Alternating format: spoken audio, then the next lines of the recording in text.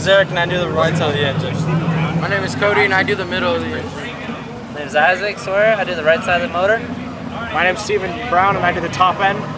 My name is Austin Revis. I'm the tool guy. My name is Heather Savian and I do bottom end. I also work in bottom end. My name is Christian Juarez. Five, four, three, two, one, go! Only five flag.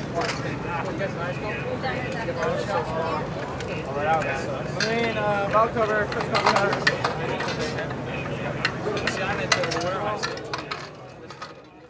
Purple Vulcan Hot Rod.